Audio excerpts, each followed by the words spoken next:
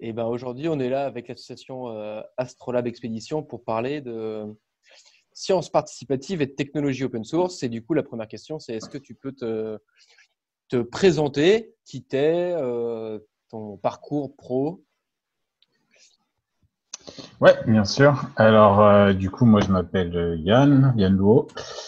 Actuellement, je suis euh, dans le bureau de l'association Astrolab d'expédition et je suis euh, responsable à la fois des projets scientifiques et des expéditions. Mon parcours professionnel, il n'a rien à voir avec euh, les sciences participatives et la mer. moi, là-bas, je suis né en région parisienne. j'ai fait des études de, de technologie et j'ai travaillé pendant plusieurs années à l'Institut Curie à Paris en génétique et cancer. Et un jour, j'ai eu l'occasion euh, d'embarquer sur un bateau de l'association Astrolab qui faisait euh, un parcours entre Singapour et l'Alaska. Et donc, moi, je suis parti trois semaines aux Philippines et j'ai découvert pour la première fois la navigation à la voile et en même temps les sciences participatives. Et euh, bah, il y a eu une espèce de déclic. Et ça a remis en question complètement ma façon de faire de la science. Je me suis questionné comment on faisait de la science et pour qui. Et euh, du coup, ça m'a amené à quitter mon emploi euh, à Paris dans la recherche académique pour me lancer euh, dans le projet associatif et sur les sciences participatives océanographiques. Voilà. Ok, top. Ben, du coup, on peut commencer pour présenter la, les premières slides là, pour parler un peu des, problèmes auxquels l'association fait des solutions. Exactement. Donc, Astrolabe Expédition, comme je disais, c'est une association qui a été fondée en 2015 et qui avait pour grands objectifs de rendre accessibles les expéditions scientifiques à la voile et euh, de rendre accès aux citoyens à la mer et à l'exploration océanographique. Et donc, en fait, euh, bah, le, le premier, la première chose, c'est effectivement l'océan, euh, source indispensable de vie sur la planète. La vie de la planète vient de l'océan. 70% de notre planète est composée euh, d'eau et de liées aux océans. C'est ce qui nous permet de respirer, la base de notre chaîne alimentaire. Il y a encore beaucoup d'espèces à découvrir. Et c'est aussi bah, le moteur de la machine climatique et c'est euh, bah, un espace qui est aujourd'hui euh, en première ligne face aux enjeux du changement climatique. Mais bah, l'exploration océanographique et donc sa compréhension et sa protection, c'est quelque chose qui est assez compliqué parce que l'océan, c'est vaste. Euh, c'est loin, on n'y habite pas. Euh, personne n'habite sur l'océan quasiment. Et euh, pour aller explorer, bah, il faut quand même des moyens in situ, c'est-à-dire des bateaux. Et aujourd'hui, bah, les bateaux, ça coûte cher, ils sont gros, ils sont polluants. Bah, typiquement, la flotte française de l'Ifremer, qui est une des plus grandes flottes au monde, c'est quatre bateaux hauturiers et deux bateaux semi-hauturiers. Donc, comparé à la surface qu'il y a à couvrir, c'est pas énorme. Euh, ça coûte très cher, 40 000, euh, entre 40 000 et 50 000 dollars la journée pour un bateau. Euh, c'est peu accessible même pour les scientifiques et c'est surtout réservé aux scientifiques. C'est-à-dire qu'il n'y a pas de citoyens qui peuvent embarquer et prendre part à ce genre d'exploration.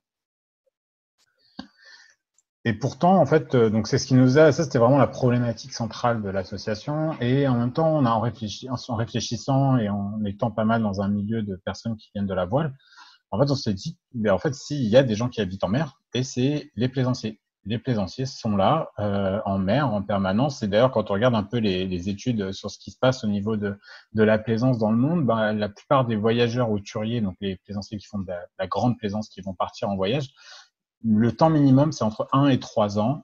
Ça va jusqu'à 10 ans de gens qui passent du temps en permanence sur leur bateau. C'est-à-dire qu'ils vivent vraiment sur la mer, que ce soit au port ou en haute mer pendant leur voyage. Ils sont sur leur bateau. Et quand on regarde les chiffres et les trajets, ben, en fait, on se rend compte qu'il y a à peu près 12 000 voiliers qui sont en permanence en haute mer. Donc, pour remettre en comparaison la flotte française de 7 bateaux, euh, on va dire capables d'aller en haute mer, là, on se retrouve avec 12 000 voiliers qui sont potentiellement des sources euh, de, de, collecte de données et d'observation. Et des plus, plus des millions de, de, de, plaisanciers qui sont en côtier, c'est-à-dire des gens qui vont sortir le week-end ou autre, et qui sont qui font de la navigation, on va dire, euh, occasionnelle sur les côtes. Et donc toute la question pour nous est venue, c'était bah, en fait euh, plutôt que d'augmenter les moyens d'observation, est-ce que ça vaudrait pas le coup d'augmenter les observateurs?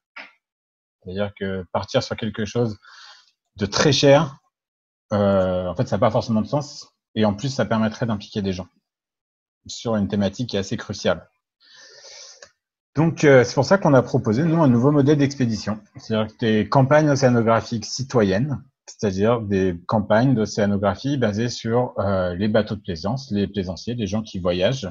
C'est 12 000 bateaux qui sont présents en permanence en haute mer en développant des sciences participatives, c'est-à-dire que pour nous, le moyen d'aller collecter des données, c'était de la science, ça passe par la science participative. Et euh, ben pour ça, il fallait aussi euh, développer une instrumentation low cost et accessible. Et donc tous ces points, je vais y revenir euh, dans le, la suite de ma présentation.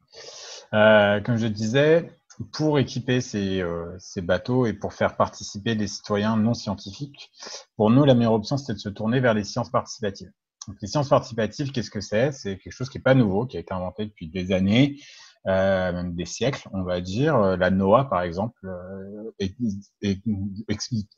euh, exploitait déjà les sciences participatives euh, en 1890 pour des relevés météo avec un réseau d'11 000 observateurs le long de la côte ouest américaine euh, qui permettait d'avoir des données de météo et des données sur la mer, l'état de la mer en temps réel et sur une grande répartition.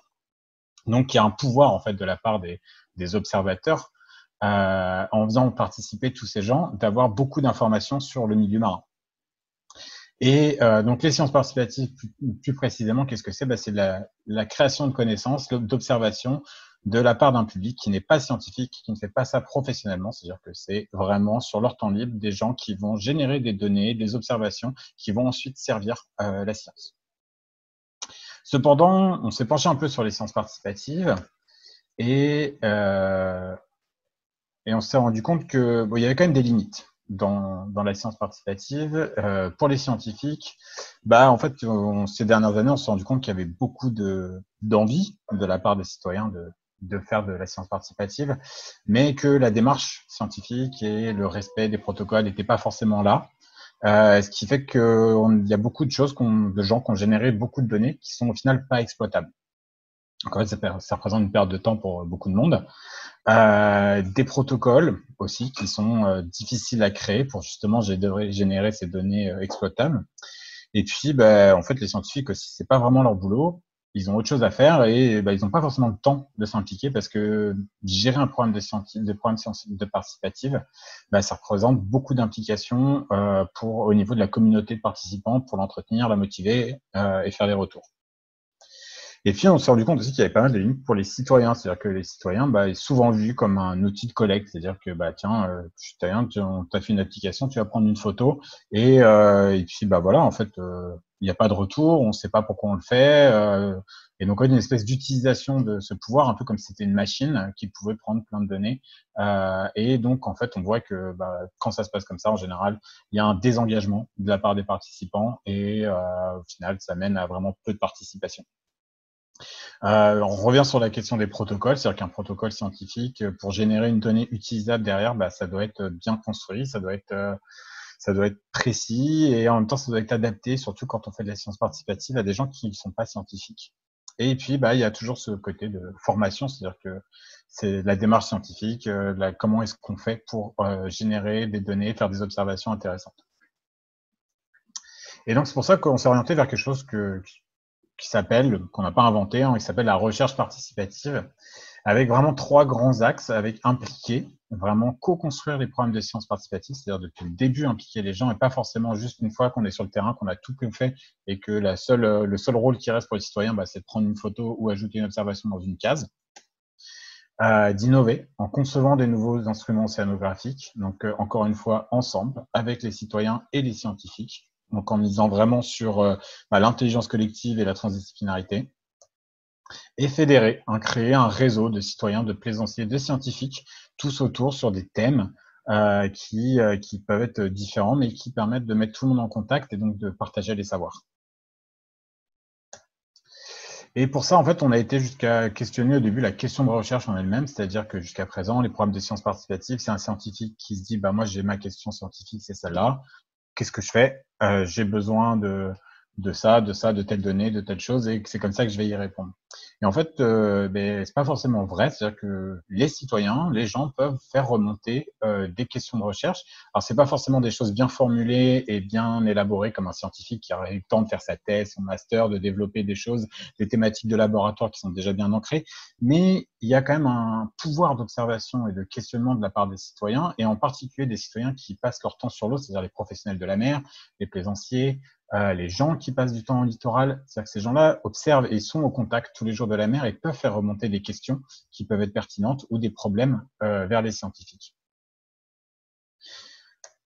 Euh, la deuxième question, ça a été vraiment le, le protocole. Parce que pour nous, c'est vraiment le, le, moment clé dans la création d'un programme de sciences participatives et dans la vie d'un programme de sciences participatives, c'est ce protocole, c'est ce qui va permettre par la suite à la fois d'impliquer les gens, de générer des données intéressantes et de pouvoir euh, construire l'écosystème qui va tout autour. Et euh, donc pour ça, un protocole, bah, il faut qu'il soit euh, donc capable de permettre de récolter des données de qualité qui soient conçues pour des non-scientifiques, parce que là, on s'adresse à des publics qui ne sont pas forcément de formation scientifique, et euh, adapté à l'utilisation voilier, parce que euh, le voilier a des contraintes qui sont bien précises. On est sur un milieu fermé. Quand on est en haute mer, on n'a pas accès à Internet, on n'a pas accès à beaucoup d'électricité, à beaucoup d'eau.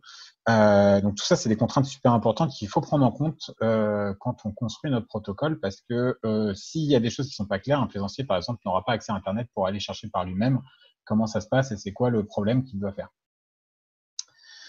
Donc, c'est pour ça qu'on co-construit depuis le début euh, le protocole avec euh, les scientifiques. Donc, pour ça, nous, on a mis en groupe des, des on a mis en place des groupes de recherche euh, participative avec des citoyens qui sont des bénévoles et qui font l'interaction avec les scientifiques et euh, et les scientifiques qui vont ensemble bah, définir le protocole et arriver à construire quelque chose qui permet de, de donner une qualité de données qui puissent être utilisées pour la science et euh, mais qui puissent être facilement récoltables, en tout cas, ou facilement compréhensibles pour les plaisanciers sur le terrain.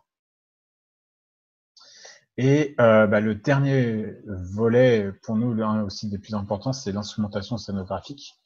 Parce que aujourd'hui, une des limites de l'océanographie, bah, c'est que ça coûte très cher. Tout ce qui est instrumentation, c'est quelque chose qui est très fermé c'est très, très, très cher. C'est fait pour être mis en œuvre par des scientifiques sur des gros bateaux, ou alors c'est des choses complètement autonomes. On va du satellite jusqu'au jusqu'au euh, flotteur Argos, des choses qui coûtent entre 15 000 et 100 000 euros, voire plus pour les satellites. Donc c'est des choses qui sont très très chères et qui sont pas du tout adaptées à l'utilisation par des non scientifiques et encore moins sur un bateau de plaisance. Et c'est pour ça qu'en fait, euh, bah, dans nos groupes de recherche, et pour nous, c'est ce qui était vraiment l'intérêt de l'interdisciplinarité, c'est d'amener des gens avec des compétences multiples pour développer une nouvelle gamme d'instruments océanographiques.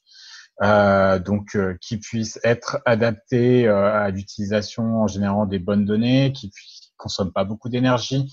Et euh, pour nous, en fait, pour que ce soit financièrement accessible, ben, il faut que ce soit ouvert, c'est-à-dire en se basant sur des technologies open source, en se basant sur des communautés déjà existantes, sur des instruments qui sont peut-être déjà existants ou déjà développés sous certaines formes. Et pour nous, c'est ça vraiment l'intérêt de, se baser sur l'open source, c'est que ça nous permet de réduire des coûts, d'impliquer un maximum de personnes et d'innover euh, sur cette euh, thématique-là. Et euh, qui dit instrumentation océanographique open source, et eh ben, dit aussi Fab Lab. Donc, tous ces réseaux de Fab Lab, aujourd'hui, il y a des milliers d'espaces dans le monde. Et pour nous, ils ont plusieurs utilités. C'est-à-dire qu'on a basé notre développement sur le partenariat avec des Fab Labs.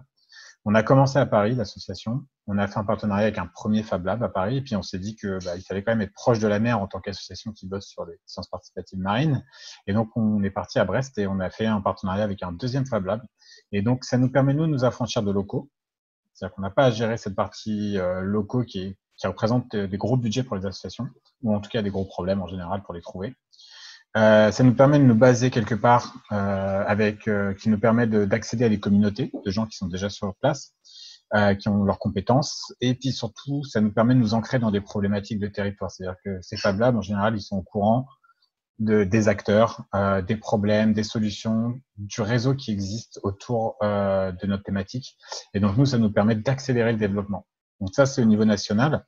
Et au niveau international, bah, on se base sur euh, les voiliers qui vont partir voyager pendant 2, 3 ans, 4 ans, 5 ans, 10 ans, qui vont marquer du matériel. Il se passe quoi si ce matériel il est, euh, il est cassé, il doit être, en, il doit être entretenu, euh, ou si on veut changer à un moment, euh, et ben en fait, il y a un réseau de Fab Lab.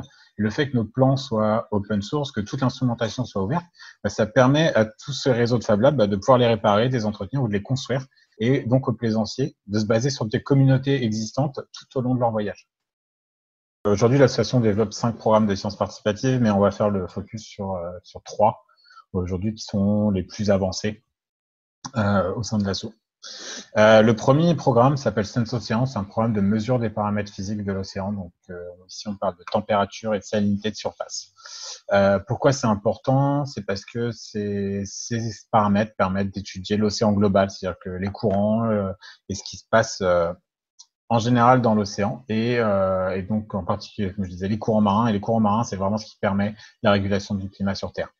Aujourd'hui, il y a peu de données sur ces euh, données de surface euh, et euh, l'intérêt d'avoir ça pour un voilier, enfin de baser ça sur des voiliers, c'est que bah, ça permettrait de démultiplier le nombre de prises de données, parce que là, avec ça, on peut prendre de la donnée quasiment en continu, de suivre des zones d'intérêt un peu plus spécifiques avec des voiliers qui passent en permanence tous les ans, de façon récurrente, pour vraiment avoir cette, cette cette euh, dynamique et cette euh,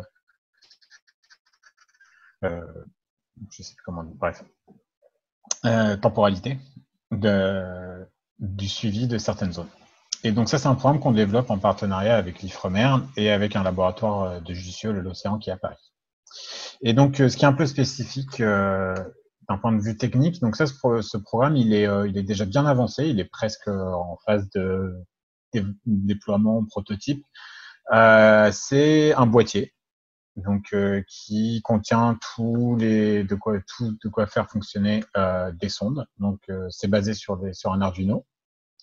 on a beaucoup travaillé l'autonomie énergétique, donc à la fois l'optimisation en termes de construction des cartes électroniques et de la consommation interne, mais aussi en mettant un panneau solaire qui le rend plus plus autonome en mer. Et donc là, on va avoir un boîtier qui s'allume euh, toutes les X minutes, euh, qui prend une mesure avec deux sondes, une sonde de température et une sonde de conductivité. Donc la conductivité, c'est ce qui permet de déduire la salinité. Donc en fait, on va mesurer euh, un courant électrique entre deux électrodes et c'est ce courant électrique, euh, l'intensité de ce courant électrique qui va définir la salinité. Euh, on a un écran qui permet de visualiser les données, c'est-à-dire que ça, c'est pas forcément obligatoire, et la plupart des outils en fait euh, scientifiques n'ont pas de visualisation de données directe. en général, on récupère ça sur une carte SD ou sur un, disque dur. Mais nous, on s'est dit qu'en fait, si on veut faire participer des gens et qu'on a juste un boîtier sans rien à l'arrière de leur bateau qui prend des mesures sans qu'ils puissent avoir aucun contrôle dessus, ben vraiment, ça va être chiant. Donc, il faut que, même si c'est pas forcément utile, il faut qu'il y ait un écran et il faut que les gens puissent voir et même l'activer quand eux ils veulent pour avoir une donnée. Voilà, donc c'est ça, ça fait partie des contraintes, par exemple, sur lesquelles on réfléchit quand on fait de la science participative. Euh, donc voilà, donc aujourd'hui ce boîtier il est en test de métrologie, c'est-à-dire qu'il passe à l'IFREMER et au laboratoire d'océan pour le, être comparé à des sondes euh, professionnelles. Euh, ce boîtier pour l'instant on est à moins de 1000 euros, moins de 800 euros sur sur le boîtier. Euh, en général une sonde de surface est euh, de, de température et sanité de surface professionnelle, c'est entre 5 000 et 15 000 euros. On a réussi à bien réduire les coûts. Et donc, les grands challenges maintenant, ça va être euh, la prise de la donnée en elle-même, c'est-à-dire où est-ce qu'on met les sondes. Euh, c'est vraiment ça le, où on en est actuellement. Est-ce que, pour l'instant, on a deux modèles envisagés. Est-ce qu'on met une perche qui va partir depuis le balcon arrière du bateau et qui tombe dans l'eau avec un flotteur et qui permet de garder plus ou moins les flotteurs à la même, euh, les sondes à la même euh, profondeur en permanence et de les garder dans l'eau. Ou est-ce qu'on passe par, euh, par exemple, un, une arrivée d'eau directement dans le bateau, donc avec une mesure directement en entrée d'eau? C'est des choses qu'il faut tester et c'est les questions justement sur lesquelles on planche aujourd'hui sur ce programme avant de pouvoir être déployé pour un premier test en mer sur du hauturier. Euh, le deuxième programme s'appelle DeepCore. Ici, ça concerne la photo-identification des coraux profonds. Donc ça, c'est un programme qu'on développe avec le, un laboratoire de l'université de Taïwan, donc à Taipei. Et le but ici, c'est, euh, bah, il y a un scientifique qui, qui, travaille sur les questions de coraux profonds, donc entre ces coraux mésophotiques, ces coraux qui sont entre 30 et 100 mètres de profondeur. lui, c'est un plongeur. Donc aujourd'hui, la plupart euh, des moyens d'observation de ces coraux, c'est d'aller plonger. Et sauf que du coup, ça permet pas de générer beaucoup de données parce qu'il faut des plongeurs euh, certifiés avec euh, un entraînement assez intense pour pouvoir plonger à ces, profondeurs. Euh, et puis il y a aussi plein de questions sur en fait il y a plein de zones, on ne sait pas où sont ces, ces, coraux, la répartition n'est pas forcément toujours connue. Euh, donc lui il nous a contacté pour voir si on pouvait pas développer ensemble euh, une nacelle d'observation ou un moyen d'observation avec un retour visuel direct sur le bateau de la part des, des coraux qui sont en profondeur. Donc, toute la question était là. La question scientifique derrière, c'est qu'est-ce qui se passe sur ces coraux? On sait que les coraux de surface meurent aujourd'hui dû à l'acidification des océans, dû au, réchauffement des océans. Euh, on a eu encore un grand événement euh, de blanchiment de la barrière de corail là, il y a quelques jours euh, en Australie. Euh, la question, c'est qu'est-ce qui se passe pour ces coraux? Est-ce qu'ils sont aussi impactés? Est-ce que les coraux de profondeur, euh, de surface migrent vers les, vers les profondeurs euh, Quelles sont les espèces? Comment est-ce qu'on fait? Donc voilà, le but, c'est vraiment d'arriver à faire à la fois une cartographie, mais aussi faire de la photo-identification d'espèces. Et donc pour cela, en fait, les caractéristiques du programme, on est basé dans les parties, on a, déjà un peu travaillé sur la partie boîtier avec l'étanchéité, caméra, donc on a une, caméra, une Picam, euh, donc euh, Raspberry, mais qui n'est pas encore assez puissante en termes de résolution. Tout fonctionne en Raspberry. Euh, on a un boîtier étanche euh, qui permet d'aller jusqu'à 120 mètres. Et on a travaillé aussi sur le retour vidéo, c'est-à-dire qu'il faut un câble qui fait plus de 100 mètres, euh, qui puisse euh, avoir assez de, puissance pour ramener le signal sur le bateau. On voudrait rajouter aussi des capteurs de pression, de température, de luminosité, tout, d'avoir des informations complémentaires autour de la photo, donc sur l'environnement. et donc, on était parti à la base sur une nacelle euh, on s'est rendu compte qu'en fait la nacelle c'était pas très pratique parce qu'on avait une nacelle plombée qui, qui tombait et qui était censée prendre des photos avec euh, en respectant parce que les photos sont prises en général avec un, un cadran d'un mètre carré et donc c'est ça qu'on essayait de reproduire. Euh, on s'est rendu compte qu'en fait ça servait plus d'encre flottante, d'encre pour le bateau qu'autre chose. Et donc, dès que tu as un peu de courant ou quoi que ce soit, bah, soit tu tords les pieds, soit tu arraches tout. Euh, donc, du coup, aller défoncer les coraux, euh, c'est pas forcément ce qu'on avait euh, en tête. Donc là, euh, le grand challenge maintenant de Source Programme, ça va être de trouver un nouveau moyen de mobilité, de continuer à travailler sur tout ce qui est capteur et donc, donc de baser et de continuer à, développer la mobilité, le retour vidéo et voilà. Et enfin, le dernier programme, donc Kietos, qui est un programme d'observation acoustique des cétacés. Donc euh, aujourd'hui, il y a beaucoup de programmes de sciences participatives et de d'associations d'éco-volontaires qui font aussi de l'observation visuelle de, de, cétacés, de recensement et autres. Et, euh, et nous, en fait, on s'est dit que bah, y a plusieurs intérêts. Ce qui manquait, c'était à la fois l'acoustique, donc sur plusieurs intérêts, c'est-à-dire que rajouter des observations acoustiques en plus des observations visuelles, ça permettrait de faire du suivi de population, de pollution sonore, euh, de faire de l'identification et euh, donc vraiment de rajouter tout un volet complémentaire euh, à l'observation visuelle. Euh, ça permettrait aussi, par exemple, de ne bah, pas forcément être en veille active en permanence, mais d'avoir un, hydrophone qu'on laisse traîner dans l'eau et qui nous avertit dès qu'on entend des cétacés qui approchent. Donc euh, là, on peut se mettre en veille et donc éviter de s'épuiser euh, à faire de la veille active, qui est en général assez fatigant. Et euh, donc voilà, c'est pareil, on s'est un peu inspiré d'un modèle déjà existant qui était développé par Sonic Kayak. Donc euh, des mecs qui font des, euh, de l'acoustique, euh, mais plutôt lié à la musique en utilisant les sons euh, sous-marins pour faire de la musique et autres. Mais ils ont un système qui en fait nous permet de visualiser un peu tout ce qu'on a besoin, c'est-à-dire euh, l'hydrophone en lui-même et toute la partie pré-amplification, amplification, les, comment est-ce qu'on récupère la donnée. Donc nous, on veut se baser sur un Raspberry pour le moment. Euh, en partant plutôt sur un hydrophone professionnel, puisque qu'on a testé les deux. vous pouvez voir, euh, il y a un hydrophone de Sony Kayak avec le fil rouge qui est euh, pas, pas, vraiment semi professionnel, et puis l'autre hydrophone professionnel qu'on a utilisé qui est quand même qui rend vachement mieux. Euh, L'intérêt de développer un hydrophone n'est pas forcément trivial parce qu'aujourd'hui il existe des, des hydrophones qui pas forcément open source mais qui sont pas chers. Ça, pas, le prix n'est pas forcément quelque chose de, de limitant. Mais le grand intérêt, c'est de pouvoir contrôler l'interface et surtout de rajouter des choses en plus. De la coordonnée GPS, de la température, euh, toutes ces choses-là. Si on développe un, un, un, hydrophone en Raspberry, basé sur une technologie Raspberry, c'est-à-dire qu'on peut créer une plateforme qui multiparamètre. Et c'est ça l'intérêt, en tout cas pour nous, dans le développement de ce programme. Donc on est encore en train de définir un peu la question scientifique à aller chercher derrière, c'est-à-dire qu'est-ce qu'on fait du suivi de population, est-ce qu'on fait de la mesure de pollution sonore. Ça, c'est quelque chose qu'on n'a pas encore défini parce que la donnée acoustique, c'est quelque chose de très très lourd. Et en fait, ils ont déjà énormément, les scientifiques, et dans certaines zones. Il y a des zones qui sont suréchantillonnées, il y a des zones qui sont sous-échantillonnées. Euh, il y a des populations de cétacés qui sont très connues, d'autres moins connues. Donc, euh, c'est pour ça qu'on est en train de voir c'est quoi le plus pertinent. Qu'on se base sur du lequel en Est-ce qu'on se base sur du curieux qui est un peu plus la fibre de l'association?